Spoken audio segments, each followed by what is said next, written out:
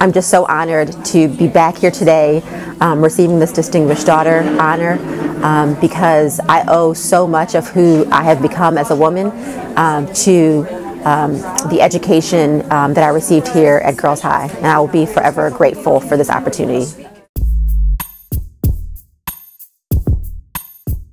I currently work at the White House um, in the Executive Office of the President, Office of Administration, uh, where I serve as a, a Senior Associate General Counsel.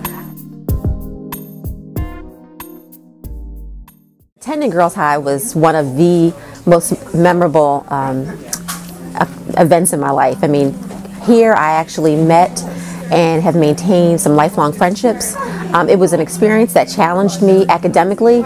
Um, I was I served as the president of the junior class and of the senior class while I attended here. Um, but I have made lifelong friends and colleagues from people who were in my class and even people who were uh, mentees and little sisters um, uh, when I was attending here. My name is Raheemah Abdul Alim. I was in the class, the 238th graduating class of Girls High, the class of 1994. Before I begin, I want to say thank you so much to my parents, Imam Muhammad Abdul Alim and Bayina Abdul Alim, who are here with me today. I would also like to thank the principal, Dr. Chris Adrian Peacock, that I have, I attended Girls High, who's also here today. Thank you so much actually Girls High prepared me so well academically that my first few years of college were actually much easier than even uh, attending Girls High because here it was so rigorous, the curriculum, that I, and you didn't have a choice of the things that you took that when I got to college, I was like, this is actually pretty easy. Um, so I really felt well prepared for um, the academic uh, rigor of both college and law school um, that I, the, the education that I received here at Girls High.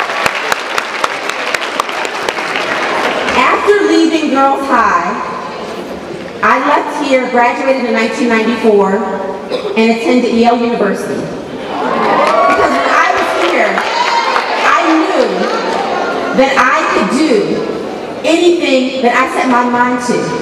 Girls High, it will humble you on those days when you get those test results back, and you're like, whoa, wow, I'm gonna have to dig a little deeper. But I, I was so well prepared when I got to Yale University that I was like, this is actually, this is actually pretty easy. And so I want you all to know here that anything that you put your mind to, that you work hard and strive for, is available to you. Because I think sometimes people think that people who go to Yale or people who go to Princeton are someplace else. No, they are you. If that is what you desire, if that's what you set your goal towards, then you as a Girls High girl you can go. After graduating from Yale University, I said, you know what? I've conquered Yale. You know what? Where am I going next? I'm going to Harvard. So I went to Harvard Law School.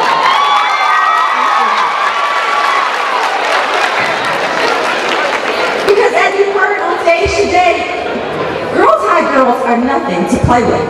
That's right. so I attended Harvard Law School. After graduating Harvard. I worked for some time at private law firms. I started at a law firm in Atlanta, Georgia. I worked there for about five years. Then I moved back here to Philadelphia where I did mostly employment discrimination work. Um, then I moved on to the Department of Justice where I did civil rights work. And there I prosecuted cases on behalf of the United States um, against employers who were discriminating against their employees. And so I've kind of seen this issue from um, always being an advocate um, for people who may have been uh, mistreated um, based on their um, protected category in the workplace. But then in 2008, something momentous happened in this country and we elected President Barack Obama. And so I said, I have to take my talents from, from Philadelphia to DC. And so I went to DC and became a civil rights attorney with the Department of Justice Civil Rights Division.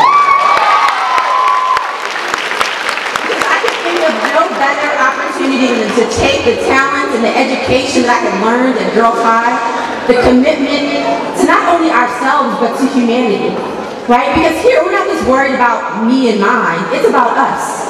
It's about lifting as we climb. It's about making sure that we are working for the betterment of all humanity. So I worked for, at the Department of Justice Civil Rights Division, bringing cases on behalf of the United States.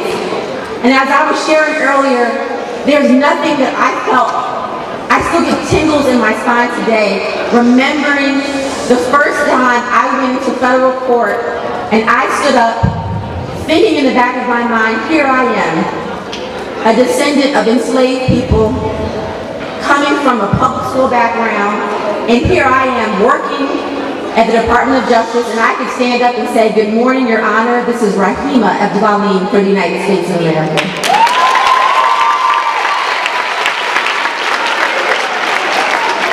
And so as I close, I currently, I currently am in a career government position. I work at the White House, and I know people may say, whoa, um, but I, I work at the White House where I am a senior associate general counsel. And every day that I work, that I go to work, I think it's important that we all know that this is our country.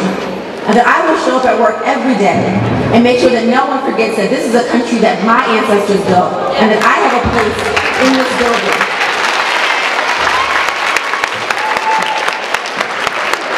And as I was, and I, I want to close and just give you one more thought, ladies that I saw a poster and it really spoke to me. And I want you all to remember this as you leave here. I have a five-year-old daughter and I have a 20-year-old.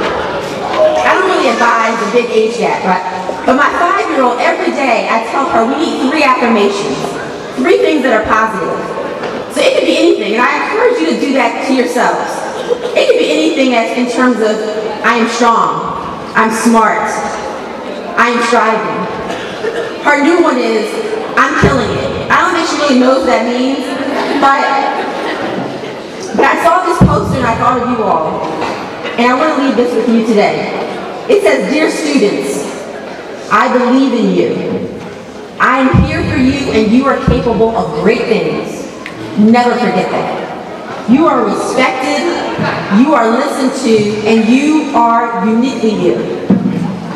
You are worth it. We all expect great things from you.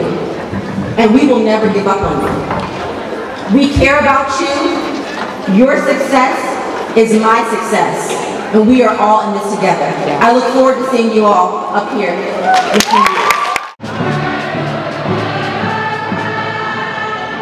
I think the Alumni Association is a, it, this is such a unique school and a unique experience for people who most people have no idea um, of the type of uh, rich education that we receive here at Girls High, and the Alumni Association provides such a, uh, valuable resource in kind of bridging the gap between people who are students here and keeping them kind of connected to the school once they graduate. And I, I live in Washington, D.C. now, and literally probably a month doesn't go by where I meet someone who tells me they're from Philadelphia and lo and behold, they actually attended the Philadelphia High School for Girls as well. One of my closest friends uh, attended here, and it's just, you know, it's something that we, we all hold so dear, you know, to us, even many years later. Would you like have any last words for anyone? Um, I would like to say to anyone who's watching this, current students, alums, um, to the alums, please continue giving back, whether it's monetarily or through service, um, being there for current students, or being there for alums who are looking for someone to connect with or to mentor. Um, and for current students, uh, just keep at it. This is a wonderful opportunity. Here you'll be challenged, um, but this challenge will prepare you tremendously for everything that you will encounter um, once you leave these doors.